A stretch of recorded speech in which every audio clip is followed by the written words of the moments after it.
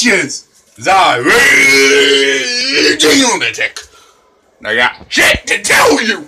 Bitches! Drinking water, is very important, you need it for your health.